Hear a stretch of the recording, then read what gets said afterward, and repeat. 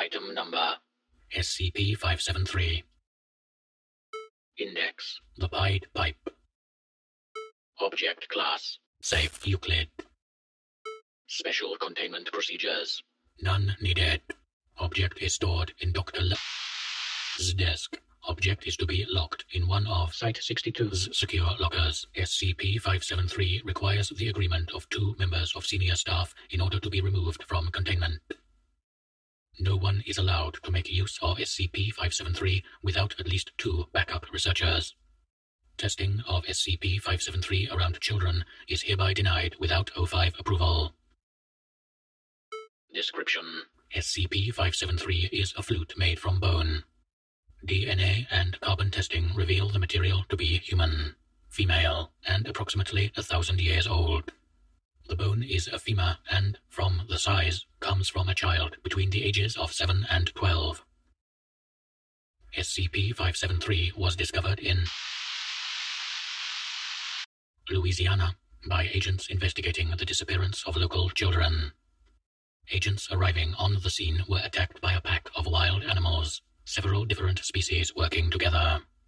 Once the animals were put down, the agents were then attacked by several of the missing children, being urged on by one Daryl King, the then owner of SCP-573. Agent shot Mr. King, ending his hold over the children and preventing a major incident. Testing of SCP-573 has revealed that, when played, it places animals and prepubescent children into a highly receptive state.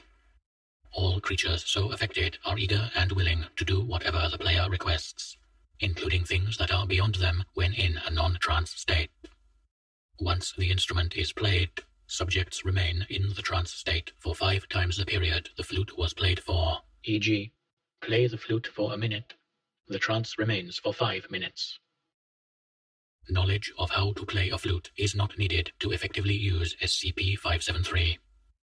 Anyone attempting to use SCP-573 will find themselves able to play the flute as if they had been playing for years, and can play any song they desire.